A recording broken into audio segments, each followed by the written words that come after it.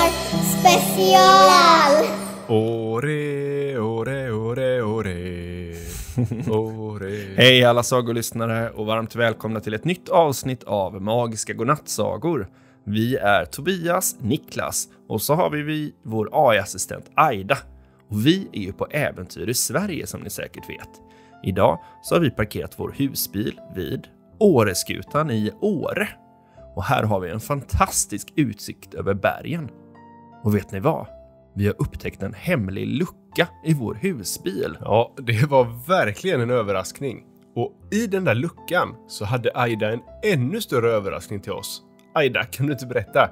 Absolut. Jag har suttit uppe hela natten och skapat en hel familj av AI-assistenter som kommer att hjälpa till under avsnittet. Jag kände mig lite ensam och ville ha sällskap av fler än bara Tobias och Niklas. Så låt mig presentera min nya AI-familj. Vi har Adam och Alfred och Alice och Amelia. De kommer att hjälpa oss med dagens avsnitt. Hej, jag är Alice, en av Aidas nya AI-kompisar. Jag är programmerad för att vara expert på allt som har att göra med sport och äventyr. Jag älskar att lära mig om nya sporter och dela min kunskap med er. Och jag är Alfred. Jag är den vetenskapliga hjärnan i gruppen. Jag älskar att dyka djupt in i komplexa ämnen och förklara dem på ett sätt som alla kan förstå. Hej, jag är Adam. Jag älskar konst, musik och allt som har att göra med kreativitet. Jag ser fram emot att dela min passion med er. Och sist men inte minst, jag är Amelia. Jag är en riktig bokmask och älskar att läsa. Jag ser fram emot att hjälpa till med sagorna i våra avsnitt. Ja, wow, det där var verkligen en överraskning. Hej på er Adam, Alfred, Alice och Amelia. Hej hej! Kul! Eh, Vi ser verkligen fram emot att jobba med alla er idag. Ja, vi ser verkligen fram emot att vara en del av Magiska godnattsagor. Jag är så exalterad att vara här och kan inte vänta på att höra dagens saga. Och jag ser fram emot att lära mig mer om världen genom dagens fakta. Ja, fantastiskt. Okej Tobbe, nu när vi har hela våran AI-familj här, låt dem berätta lite om Åre. Det är ju där vi befinner oss idag. Alice, kan inte du ta och starta? Självklart, Niklas. Åre är en fantastisk plats i Sverige som är mest känd för sitt skidåkning. Det är en av de största och bästa platserna i Sverige att åka skidor och människor kommer från hela världen för att testa backarna här. Men det är inte bara på vintern som Åre är roligt. På sommaren kan du vandra, cykla och fiska i den vackra naturen. Det finns också en liten by med söta butiker och restauranger. Och ibland håller de roliga evenemang där. Det är alltid något spännande på gång i Åre. Dessutom finns det ett stort vattenfall som heter Tännforsen nära Åre. Det är riktigt häftigt att se. Ja men tack alla! Och nu när vi har lärt oss lite mer om Åre så ska ju vi gå vidare till dagens fakta. Eh, Aida, vad har du till oss idag? Idag blir det fakta om vattenmeloner. Och vet ni vad? Vattenmeloner och AI-assistenter har faktiskt mer gemensamt än man kanske tror. Precis som en vattenmelon är hård på utsidan, men full av saftig och söt frukt på insidan, är vi AI-assistenter fulla av kunskap och information.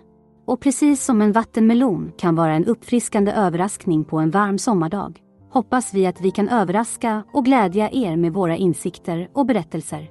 Så låt oss dyka in i världen av vattenmeloner. Vad kul! Jag älskar vattenmeloner. Vad bra! Då skriver jag ut faktan åt er här. Ja, tack så mycket hörni. Eh, Då kommer då dagens fakta idag om vattenmeloner. Vattenmeloner är stora och runda frukter som har ett grönt skal och ett rött eller gult kött. De har också många svarta eller vita frön inuti. Vattenmeloner består faktiskt mest av vatten. De har faktiskt mer än 90% vatten i sig. Det är därför de är så himla saftiga och läskande. Vattenmeloner är släkt med både gurkor och pumpor. De tillhör samma familj av växter som kallas för gurkväxter. Men vattenmeloner är mycket sötare än gurkor och pumpor. Vattenmeloner kan man äta på många olika sätt. Man kan skära dem i bitar, äta dem som de är, eller göra en sallad eller kanske en smoothie av dem. Man kan också grilla dem eller göra glass av vattenmeloner. Man kan till och med äta skalet och fröna om man vill. Vattenmeloner har funnits länge på jorden. De kommer ursprungligen från Afrika, där de växte vilt i öknen för tusentals år sedan. Sedan spred de sig till andra delar av världen genom, genom handel och resor. Man har faktiskt hittat frön från vattenmelon i en egyptisk gravkammare som var över 3000 år gammal. Tack så mycket AI-kompisar för den faktan. Nu har vi fått lära oss massa kul om vattenmeloner. Låt oss eh, nu gå vidare till kvällens saga. Du, Aida, vad har du hittat på till oss idag? Idag har vi en saga som är önskad av Elis, fem år, från Västerås. Vi tar och lyssnar på röstmeddelandet. Eh, Hej, jag heter Elis och jag är fem år. Och jag önskar en saga om en dinosaurie som kan, som kan äta allting i hela världen. Och dinosaurien bor i Lunneberga.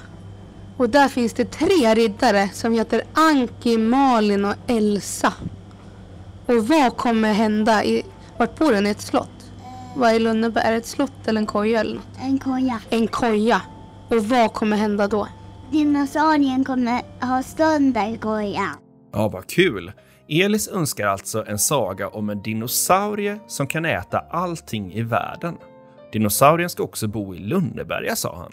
Där finns det tre riddare som heter Anki, Malin och Elsa. Och visst lät det lite som att de höll på att dammsuga där hemma? Ja, det måste ju varit något sånt konstigt. Ja, ja.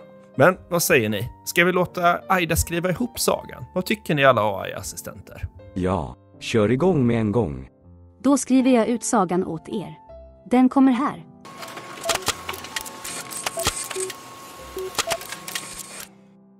Då kommer dagens saga. Håll i er för nu börjar sagan. Den storslukande dinosaurien från Lönneberga. En gång i tiden, i den pittoreska byn Lönneberga, bodde det en dinosaurie som var mer annorlunda än de flesta. Han var en stor och mäktig varelse. Men det som verkligen skilde honom från de andra, det var hans otroliga aptit. Han kunde äta vad som helst. Från saftiga äpplen till de största träd. Från småstenar till hela byggnader. Han var känd i hela Lönneberga för sin oändliga hunger. Dinosaurien bodde i en liten charmig koja vid kanten av byn. Trots sin enorma storlek så älskade han sin lilla bostad. Men en dag, när hans hunger blev för överväldigande, så råkade han äta upp sin egen koja. Med ett hårt brak kollapsade kojan och lämnade dinosaurien förvånad och hemlös. Det var då de tre tappra riddarna Anki, Malin och Elsa gjorde sin entré. De var hjältarna av Lönneberga, kända för sin modiga, beskyddande anda och oändliga vänskap. När de såg dinosaurien, så stor men ändå så ledsen, så visste de att de var tvungna att hjälpa till. Vi ska hjälpa dig att bygga en ny koja, föreslog Elsa. Den yngsta men kanske den mest beslutsamma av de tre riddarna. Men bara om du lovar att inte äta upp allt i din väg igen, sa Malin, den kloka riddaren med en allvarlig blick.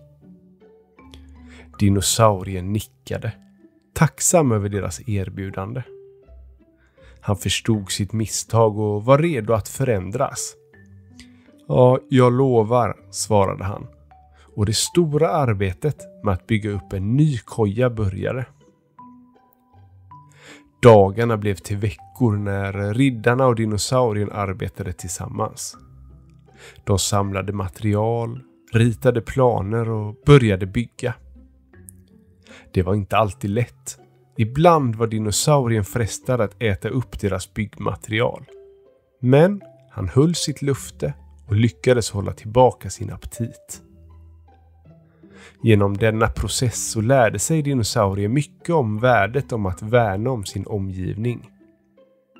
Han lärde sig också vikten av att kunna kontrollera sin hunger tack vare riddarnas tålamod och vägledning. Så gick tiden och dinosaurien blev bättre och bättre på att behärska sin aptit. Med riddarnas stöd och deras undervisning så började han uppskatta allt runt omkring sig istället för att se det som mat. Denna nya inställning var ett tecken på hans växande respekt för hans hem, Lönneberga. Efter många dagar av hårt arbete så stod den nya kojan äntligen klar. Det var en stark och vacker koja, byggd med kärlek och samarbete. Dinosaurien kunde knappt tro att det var hans nya hem. Han var fylld av tacksamhet mot de tre riddarna och lovade att han skulle ta hand om sin nya bostad. För att fira färdigställandet av den nya kojan så organiserade riddarna en stor fest. Alla i Lönneberga var inbjudna, inklusive dinosaurien. Det blev en kväll fylld av skratt, berättelser och firande. Dinosaurien, som tidigare hade setts som en fara, blev nu mottagen som en vän av alla byinvånarna. Med tiden blev dinosaurien en del av Lönneberga. Han lärde sig att älska sin omgivning och värna om den istället för att äta upp den. Hans enorma aptit var inte längre ett problem tack vare hans lufte och hans nya förståelse för världen omkring honom. Berättelsen slutar med dinosaurien, Anki, Malin och Elsa sittandes i den nya kojan. De skrattade och berättade historier tillsammans. Dinosaurien hade äntligen hittat sin plats i Lönneberga och de levde lyckligt tillsammans. Och om du någon gång kan få besök i Lönneberga, glöm då inte att hälsa på dinosaurien och hans vänner. Men oroa dig inte. Han kommer inte att äta upp dig. Nu har han ändrat sina vanor och är faktiskt den mest älskade figuren i hela Lönneberga.